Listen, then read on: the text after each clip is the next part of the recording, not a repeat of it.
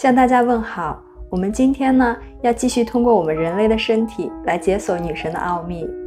男人呢，也拥有非常重要的东西，那就是身体的韵律、节奏还有周期。它们呢，可以带来奇迹。血液呢，对于阳性振动而言更加具有神秘性，因为它隐藏在身体的里面，看不见，也不像女性一样每个月都可以感觉得到。战争呢，是父权社会为了赋予男性鲜血的力量而招致的扭曲之一。为战争所流的鲜血可不能这样等同视之。战争的血液带来暴力，对生命的破坏、残杀、屠害，充斥着令人窒息而且压抑的情绪和感觉。让男性取得血液力量唯一适合的办法，就是女性将自己的血液赠予他，与他分享女性自己的血液精华。达成这个目的的方法有很多，其中一个明显的方式就是男性使用由女性的精血滋润成长的水果或者蔬菜。另外呢，男性也可以在颈部后面或者脚底涂上精血，这样呢，他的身体就会吸收精血中所蕴含的智慧。连接深刻的男女双方呢，在月经期间进行性爱是分享血液非常强有力的行为。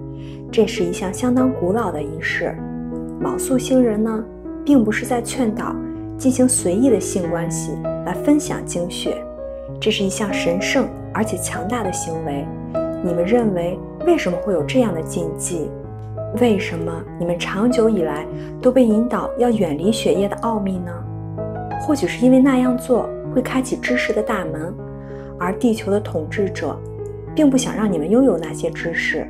血液中包含了个人在地球和星际体验的档案资料，在性结合的时候体验精血，你们会被知识的海洋所淹没，远远超过你们现在所能了解和整合的能力。这可能要花很多时间，这些深远的知识才能经由血液在你们体内被解码和揭露。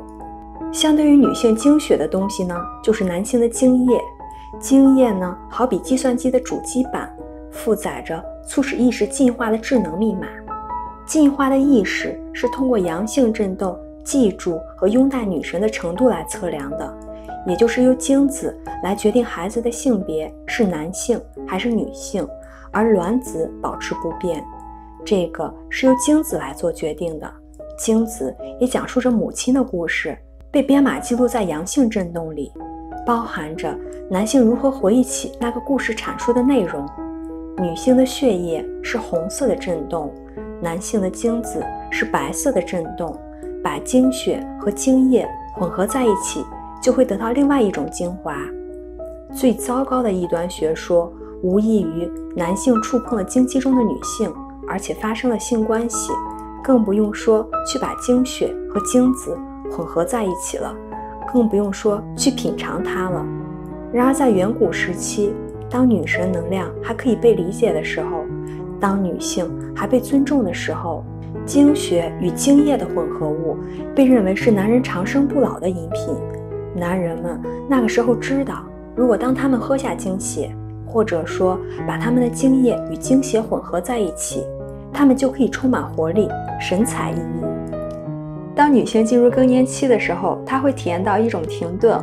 而如果他可以顺利的度过这个停顿的话，他的内在就会发生深刻的转变，从而到达智慧的高地，贯穿整个近代史。当女性绝经的时候呢，她会让人感到恐惧，因为她可以保持住自己的血液，这意味着她可以保持住来自血液的全部力量。大多数四十岁左右的女性，还有三十岁左右的女性，会给衰老的过程去灌注能量，这样呢？就宣布了他们的死亡。通过灌注仇恨的思想，对身体的诅咒，女性被引导着脱离了他们的自然周期，她们让自己的身体失去了平衡。大众呢，也对绝经的现象有着绝对的误解，就像是对经血的误解一样。每个人都倾向于接受这些误解。然而，事实上，在绝经期存在一个伟大的祝福，在生命的那个阶段。你不会损失任何东西，而且与你们被告知的恰恰相反，这是一个巨大的收获和开花的阶段。通常来说呢，接受输精管切除术的男人会担忧自己的性能力，并且认为呢自己无法控制自己的身体。输精管切除术象征性的表示着他们无能为力的感觉，也就是他们的精子和生殖器不能做他们想要做的事情。而对精子的恐慌呢，则会引起对身体的恐惧。那些接受输精管切除术的人，也会增加对前列腺的不适，因为切断了精子的流动，会对身体造成困难。卯宿星人呢，也不建议你们进行输精管切除术。卯宿星人的建议是，你们要学习去如何使用自己的身体，而不是谴责身体的功能，并且去制造扭曲。当你们重新建立自己对性方面的信念时，请保持着充分的好奇心。如果你想要真正的去生活呢，就要去认识女神，在自己身上和身边的万事万物当中去寻找这种力量。要去说：“上帝，请展示给我们看，你们是谁？我想要认识你。”你们当中的大多数人呢，如果把造物者想象成男性人格的时候，很容易去接受这些。可是呢，如果把造物者想象成女性人格的时候呢，你们当中便有一些人不能接受这些。生命呢，来自阴性的震动。夏娃并不是亚当的肋骨。这个故事呢，是为了增强阳性的震动，在与女神文化分庭抗礼的过程当中，迫切需要有这样的身份认同。如果你环顾四周的话，你就会发现，我们每个人都在寻找一种平衡。我们每个人都有内在的男性面相，也有内在的女性面相，而关于你的身份和创造的所有故事，都将这两种力量的真相紧密地连接在一起。在你追求男性和女性内在平衡的时候，在理想的情况下，你也会吸引到一个同样平衡的伴侣，而他的平衡意味着你们是自己平衡的源泉。你们的下一步呢，就是把你的源泉与对方的源泉相融合，这样一来，你们就可以体验和变成更大的源泉。这并不是说呢，你一定要需要伴侣，但是呢，自然而然的过程是双方一起去构建什么东西。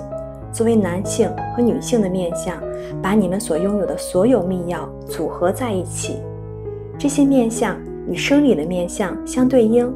而且可以把你们带入精神和情感的高地，女神和她的慈悲能使你们去拥抱女神的能量，从而使你们所有人对生命有了更新的理解，并且去珍视生命，从而呢对万事万物发展出一层更深层的爱。